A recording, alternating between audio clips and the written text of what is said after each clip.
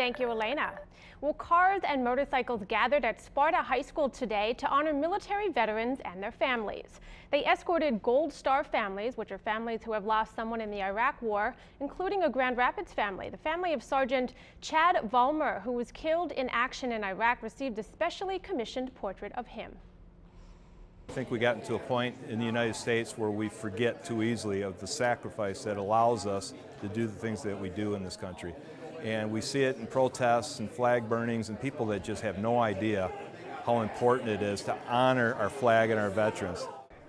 Today's event was hosted by the Finish the Mission Veteran Relief Fund.